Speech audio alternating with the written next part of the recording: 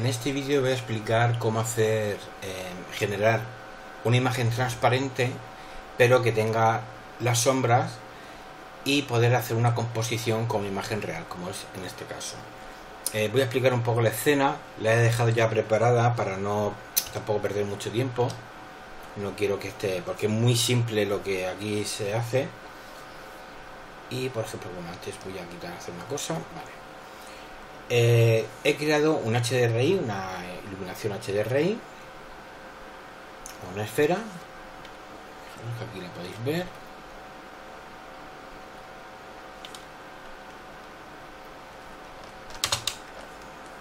Aquí tengo esta imagen. Luego lo que he hecho también ha sido, eh, bueno, poner el personaje que tenemos hecho de Lego Luego aparte he creado dos imágenes, dos esferas. Una eh, tiene un material gris difuso y la otra es completamente como si fuera un espejo, como eh, el difuso está a cero y tiene aquí en el especular lo tiene todo completo al máximo. Bien, ¿esto para qué son estas dos esferas? Porque cuando yo he, creado este HDRI, esta imagen 360, yo, fijaros que también tengo estas esferas y le he hecho una foto. Esto lo que me hace es ayudarme a saber dónde está la iluminación, aquí en esta parte gris, esta esfera gris, y el tipo de sombra que genera. Y luego en esta simplemente lo que hace es indicarme dónde está la luz y por ejemplo los objetos que hay en la escena para que concuerden perfectamente la imagen con el 3D. Eh, luego, aparte de esta imagen, eh, con las esferas, he hecho una foto exactamente en el mismo sitio, que la tengo aquí de fondo, en una imagen plano. Fijaros que es más o menos el mismo sitio, que donde voy a posicionar el personaje. Para que se vea un poco mejor. Bien, eh, voy a hacer un IPR para que veáis esas dos esferas. Vamos a ver.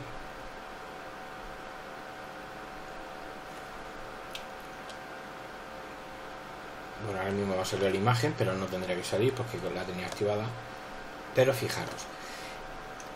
En esta esfera, que es como cristal, pues más o menos he puesto donde está la luz, el árbol y la, el tipo de sombra que viene por aquí. Entonces, una vez que tengo esto puesto, pues sé perfectamente de dónde vienen las sombras. O sea, me va a generar exactamente la iluminación perfecta. Luego, he creado un plano. Bueno, y he posicionado el grid para en la perspectiva de la cámara. De este plano, y este plano simplemente es una referencia. Lo voy a desactivar. Y bueno, lo que realmente lo que quería hablar de este tutorial es utilizar esta opción de Renderman que es el holdout. El holdout lo que hace es separar, por ejemplo, este plano lo va a convertir en transparente y va a dejar las sombras. Y es tan simple como seleccionar el plano y darle. Botón aquí, crear holdout. Eh, tenemos que asegurarnos que cuando seleccionamos el plano, en el Shape, en Render Stat, tenemos activado la opción. Luego aparte, tenemos que ir a las preferencias y en aquí en avanzado, tenemos que activar esta opción, Adapt All. Y bueno, ya está. Ya simplemente haríamos el render. Fijaros, por ejemplo, voy a hacer un IPR rápidamente.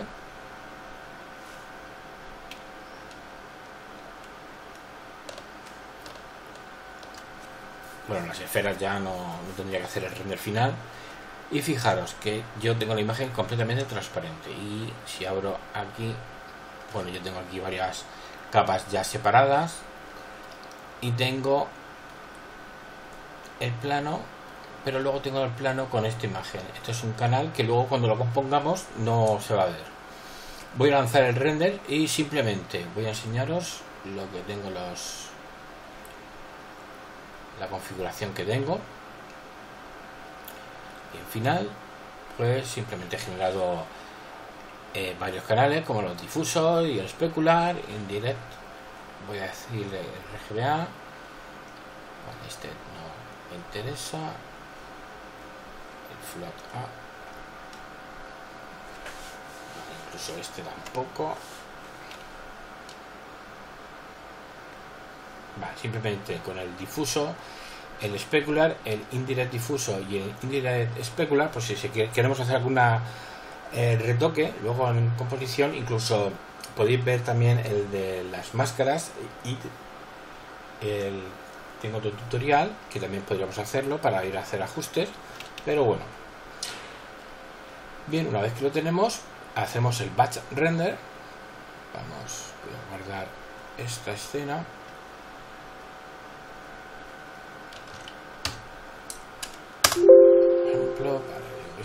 Y hacemos un batch render no perdón voy a pararlo un momento y le voy a decir que creo que me he dejado algo sin activar. En las preferencias que quería activarle vale aquí el de noise bien voy a lanzar otra vez el batch render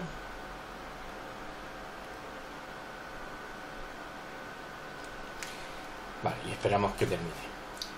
Bueno, ya terminó el render. Vemos que nos ha generado tres imágenes. Una es como normal. Bueno, voy a abrirlas en, en y así la vais a poder ver exactamente qué tiene cada una. Ah, y esperar que me he equivocado y he puesto, he dejado las esferas. Bueno, me paso un momento y voy a lanzar el render en un momento. Vale, ahora sí ha terminado vamos a cargar las imágenes. En New, voy a enseñar. Estas las voy a quitar.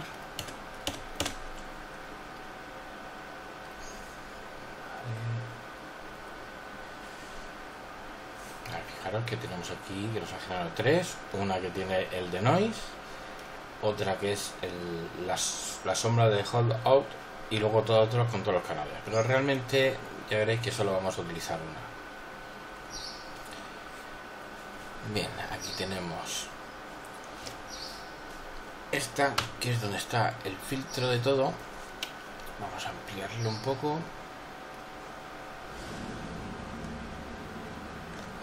Esto un poco más pequeño. Vale, si vemos sus capas, vemos que aquí tenemos el alfa, de campo, vale, este no es la que quiero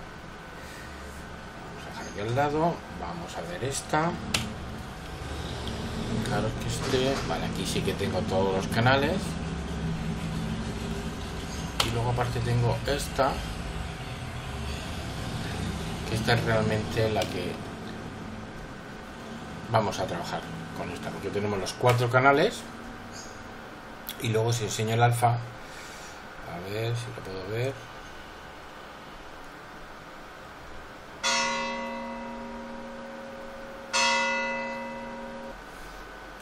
Vale, este el problema que tiene que no tiene el alfa, entonces vale, vamos a utilizar esta que pone Leo Hold, hold Out. Vale, porque tenemos el alfa, luego aparte tenemos todo, el, albedo, el difuso, el difuso eh, indirect, el especular, etcétera.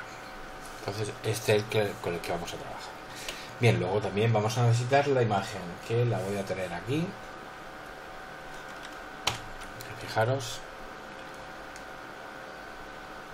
Que la tengo aquí. Muy importante que estas dos imágenes tanto esta como esta tengan el mismo tamaño.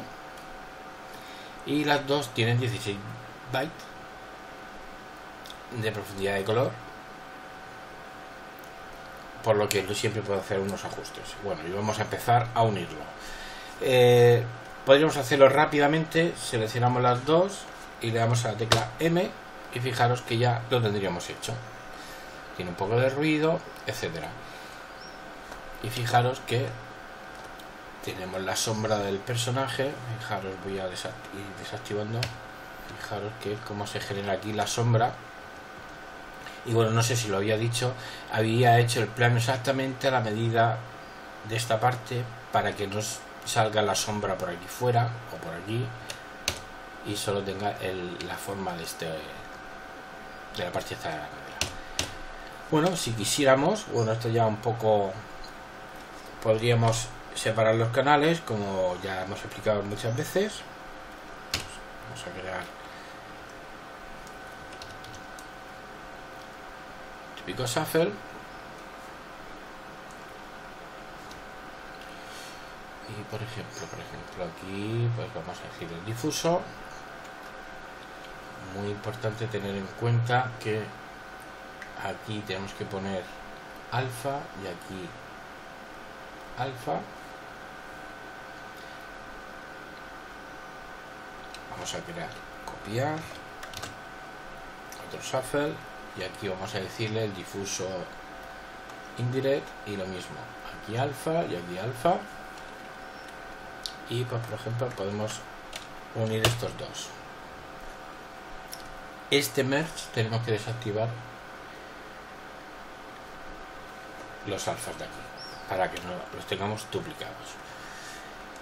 Eh, a ver creo que tenemos sí nos faltaría los reflejos el especular punto copiar otro shuffle especular alfa y alfa perfecto selecciono este y este m merge y desquito los alfas. Ahí ya tengo los reflejos. Y me faltaría uno más son los especular indirectos. Alfa y alfa. Selecciono este merge con este. Y quito los fijaros que lo tendría exactamente perfectamente equilibrado todo el color ya que hemos utilizado un HDRI iluminación y hemos utilizado todo lo que os he explicado de las esferas. Eh, fijaros que a lo mejor tiene un poco de ruido pues vale. A la salida de todo mm, de este antes de unirlo pues podemos meterlo en de noise me da un error se lo pongo aquí por ejemplo la cara ahí ya me ha quitado. Fijaros que si lo desactivo con la D no sé si se aprecia quita el ruido. Y bueno ya lo tendríamos preparado. Eh, podríamos poner aquí de, mm, después de los shuffle le damos a la C y nos aparece un color correct donde podríamos modificar un poco la iluminación si quisiéramos. Para cada uno podríamos añadírselo la tecla C por ejemplo que bajar un poco el brillo de los reflejos.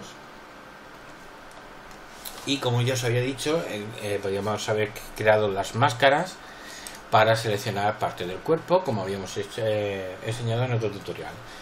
Y bueno, ya por último, pues una vez que lo teníamos ya bien unido, pues podríamos meterle aquí al final otro color correct o cualquier tipo de corrección, pero esto ya sería completamente para todo. Y como estamos trabajando con imágenes XR o TIFF de 16 bits, pues tenemos mucha cantidad de información para poder ecualizar. Bueno, simplemente quería explicar lo de la sombra, pero fijaros que era súper fácil, entonces por eso he explicado un poquito más. Recordad, seleccionamos el plano y le damos al Hold Out. Y nos aseguramos que la geometría esté esto activado y en las preferencias, en avanzadas, aquí, activar, adaptar todo. Bueno, pues nada más, espero que os haya gustado y nos vemos en el siguiente tutorial.